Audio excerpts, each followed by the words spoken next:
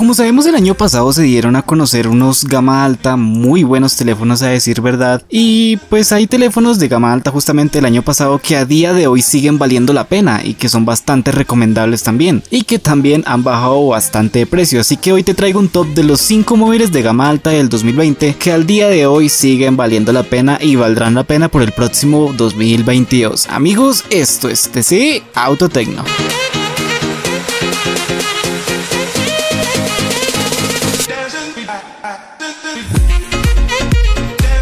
Antes de empezar, como siempre, quiero recordarte que si eres nuevo por acá, te invito a que te suscribas y le des al botón de la campanita, ya que sí me estarías ayudando muchísimo. O me puedes dar un like si te gusta el video, pero bueno, comencemos. Empezamos hablando del OnePlus 8 Pro y es que no cabe duda de que uno de los mejores gama alta del año pasado que puedes comprar al día de hoy es el OnePlus 8 Pro, que está compuesto por componentes de gran nivel. En primer lugar, y para hablar un poco de sus características, monta una pantalla fluida AMOLED de 6,78 pulgadas con resolución Quad HD Plus o QHD Plus y tasa de refresco de 120 Hz. En su interior trabaja con un procesador Qualcomm Snapdragon 865, el más potente del año pasado, con conectividad 5G integrada. Además de esto, su sistema operativo de fábrica es Oxygen OS 10.5 basado en Android 10, pero tiene actualización a Android 11 y pronto actualizará también a Android 12. El OnePlus 8 Pro también es un móvil de primer nivel en cuanto a fotografía, con cuatro cámaras en su parte trasera, una principal de 48 megapíxeles, otra gran angular de 48 megapíxeles, un telefoto de 8 megapíxeles y cámara de filtro de color de 5 megapíxeles. Finalmente equipa una batería de 4510 mAh con carga rápida de 30 watts y carga inalámbrica de 30 watts también, que alcanza la jornada completa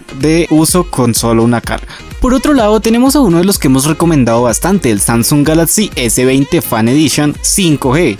y tenemos que tener en cuenta eso, ¿no? Hay una versión 4G que llega con Exynos y hay otra 5G que llega con Qualcomm Snapdragon. Las dos son muy buenas versiones a decir verdad, pero obviamente la mejor es la que viene con el Snapdragon, ya que Exynos parece una estufa. Como sabemos, el Samsung Galaxy S20 Fan Edition 5G fue una de las grandes revelaciones del 2020 y aún continúa manteniendo un puesto más que interesante en el mercado por su relación calidad-precio. En primer lugar, cuenta con una pantalla Super AMOLED de 6,5 pulgadas en resolución Full HD Plus y una tasa de refresco hasta 120 Hz, que a decir verdad te va a correr bastante fluido para juegos o todo lo que tenga que ver con el mundo del gaming. En el procesador de la versión con 5G es el cual con Snapdragon 865, un chip que le puedes pedir todo lo que quieras, pues hasta le sobra potencia decir verdad. Su sistema operativo es One UI 2.5 basado en Android 10, pero cuenta con varios años de actualizaciones, incluida la llegada de Android 12, como ya lo habíamos nombrado en el video anterior de Hablemos de ello, y además de esto este teléfono también permite ampliación de su almacenamiento interno por tarjeta micro SD. Llega con tres cámaras traseras, una principal de 12 megapíxeles, una gran angular de 12 megapíxeles y un teleobjetivo de 8 megapíxeles. En cuanto a autonomía, monta una batería de 4500 mAh con carga rápida de 25 watts y carga inalámbrica de 15 watts, capaz de alcanzar la jornada media de uso. Entonces es uno de los teléfonos más recomendables al día de hoy. Por otro lado, para los países donde llega Oppo tenemos al Oppo Find X2 Pro. Este teléfono sigue siendo un gran gama alta con una ficha técnica que poco tiene que envidiarle a los grandes móviles de 2021 y además del diseño, unos aspectos más destacados del terminal es la pantalla, de tecnología AMOLED y un tamaño considerablemente de 6,7 pulgadas y la calidad asciende cuando conocemos que tiene una resolución QHD Plus y una tasa de refresco de 120 Hz, es decir, la resolución y la fluidez están más que buenos. En rendimiento este teléfono monta el cual con Snapdragon 865 5G como procesador, como ya lo había dicho. Su sistema operativo es Color OS 7.1 basado en Android 10 de fábrica, pero se espera que actualice a Android 12 en la primera mitad del 2022. Para las fotografías monta tres cámaras traseras siendo la principal de 48 megapíxeles. Además cuenta con una batería de 4260 mAh con carga rápida de 65 watts, esto te carga en menos de nada, que alcanza hasta la jornada de uso. Y como ya lo he dicho, lo mejor es la potencia de la carga, pues te permite cargar el móvil en completo en tan solo media hora. Otro punto a favor del terminal Oppo es que su precio, que estuvo por los 1200 dólares en el lanzamiento, ya es notablemente inferior en estos momentos, ya ha bajado bastante. Y es más, en plataformas como Amazon ha bajado el Oppo Find X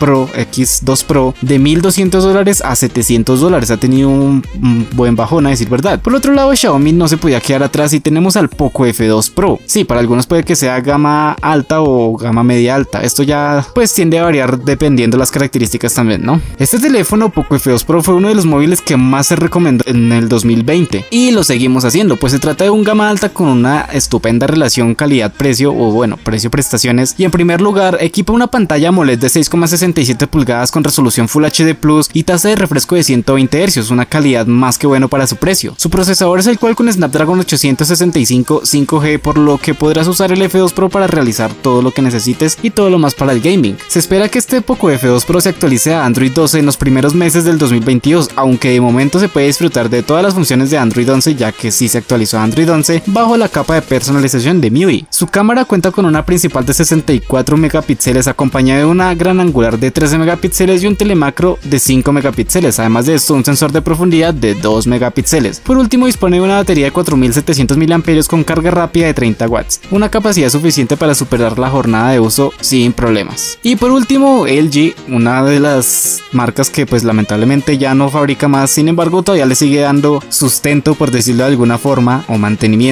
a sus dispositivos. En este caso tenemos al LG Wing, un teléfono que pues no a muchos les gustó pero es una muy buena opción. Y es que si quieres un móvil de gama alta del 2020 pero priorizas un diseño innovador antes que otros aspectos, el LG Wing es lo que estás buscando prácticamente. Este smartphone llama la atención por su doble pantalla, una principal POLED de 6,8 pulgadas con resolución Full HD Plus y una secundaria de 3,9 pulgadas que se desliza hasta colocarse en posición horizontal formando un tipo de T. Y es que sin duda este LG Wing es uno de los diseños más originales hasta la fecha, aunque vuelvo y lo digo, no a todos les gustó. Este móvil equipa un procesador Qualcomm Snapdragon 765G con una potencia suficiente para ofrecer un rendimiento bastante bueno. Además tiene 8 GB de RAM y 128 o 256 de almacenamiento interno. Su sistema operativo de fábrica es LG UD sobre Android 10 y será uno de los primeros móviles de LG en actualizar a Android 12, por lo cual LG lo tiene bastante bien. Además en cuanto a su fotografía cuenta con triple cámara trasera, una principal de 64 megapíxeles, una gran angular de 13 megapíxeles y por último una de 12 megapíxeles. Además monta una batería de 4000 mAh que alcanza la jornada de uso completa, quedando incluso algo de energía restante para el día siguiente. El LG Wing salió en el mercado por 1100 dólares más o menos por ahí, pero ya puedes comprarlo alrededor de los 400 dólares o menos y es que ha tenido un bajón de precio bastante considerable. Pues obviamente porque ya LG dejó de fabricar teléfonos y pues toda la vaina. Bueno amigos, esto fue todo por hoy, espero les haya gustado, recuerden que les dejaré otros dos vídeos por si quieren ir a verlos. Saludos, los quiero, cuídense y bendiciones.